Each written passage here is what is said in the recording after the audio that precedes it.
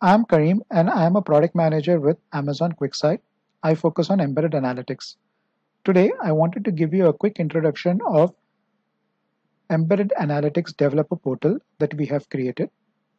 You can access this portal by going to https colon slash slash developer.quicksight.aws.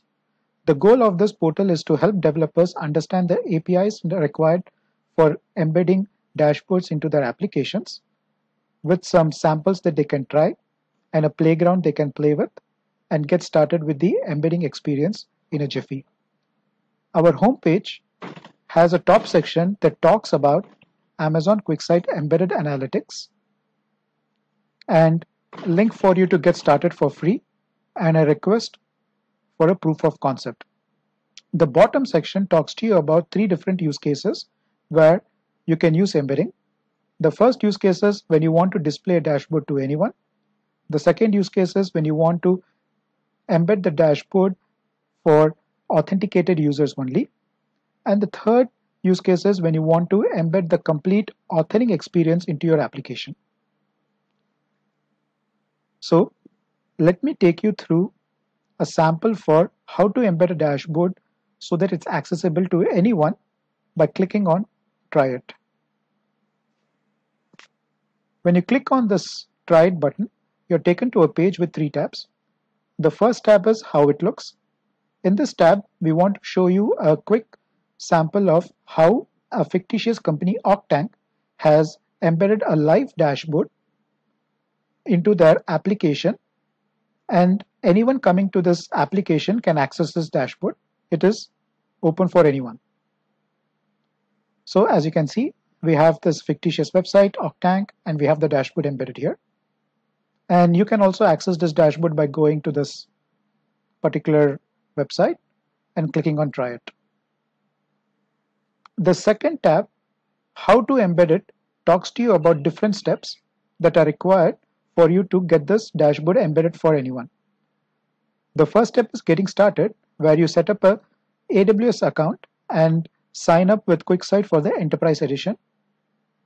Then, as an admin, you have to add your embedding website's domain name to the allowed list of the domains and embedding section in Manage QuickSight page within the Amazon QuickSight product itself.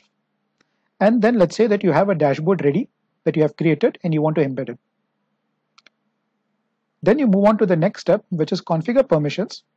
Here, you are enabling the permissions for a role that can run the get dashboard embed URL API under the identity type anonymous. We have a copy button for you to be able to copy this JSON and add it to your IAM permissions. Once you have done this, the next step is for you to generate the embedding URL. For that, you have to access the get dashboard embed URL API and set the identity type as anonymous. We have the code snippets for you in Java, JavaScript, and Python. You can download each of these snippets or copy it. And as you can see, these snippets talk to you about how to access the get dashboard embed URL API with the identity type anonymous.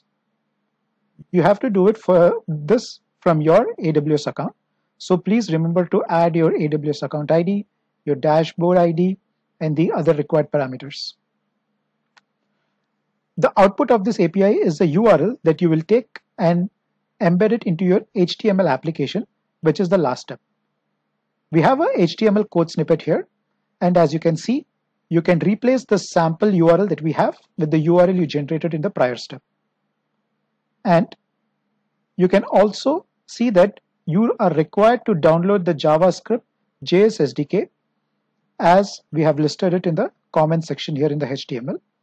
And again, you can download the snippet or copy this HTML code and get ready for embedding your own application. We also have bundled all these codes from configure permissions all the way to embed URL in your application with the different languages supported into a zip file which you can download by clicking on download all code. Then the last tab, how to customize it, talks to you about how you can learn about different controls that you can enable on your dashboard using the JS SDK that we provide or listen to the different QuickSight events and take some actions on your embedding application again using the JS SDK. The first one is enabling controls on your QuickSight dashboard. As you can see, the various controls are print, switch locale, switch sheets, pass parameters. So let me quickly show you one example. Let's say that this is my dashboard that I have embedded into my fictitious Octank website and I want to change its locale to JP and I'm doing it from the embedding application itself. So when I click on this, two things happen. The first is the code here that you see is actually a usable code and it has the part where you enable the locale to Japanese highlighted that you can use. Again, you can copy this code or you can download by clicking here.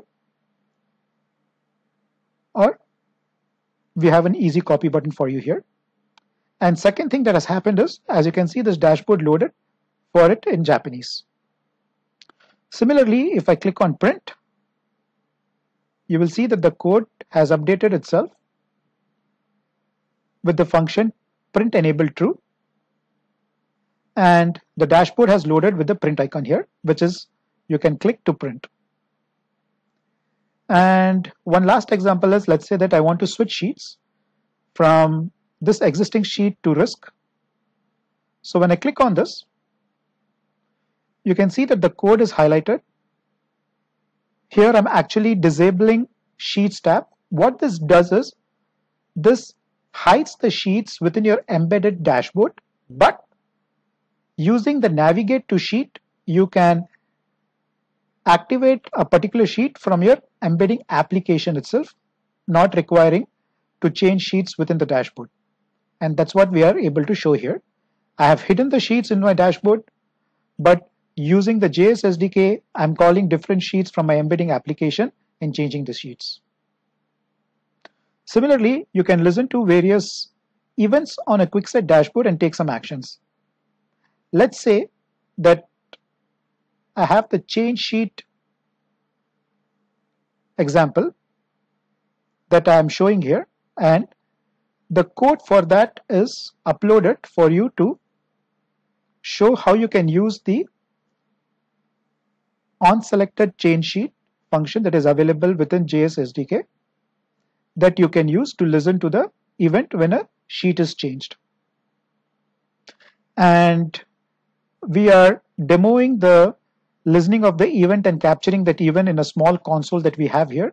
Let's say that I click on orders, I'm changing sheet, and you can see that I'm able to get that callback and I'm able to take some action. Here I'm showing a text which shows which sheet is selected and throwing some data about that sheet.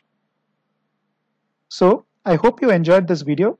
Again, the goal of this uh, developer portal for the embedded analytics is to help you understand the different embedding use cases, get you started quickly, and uh, hopefully this video has been very helpful.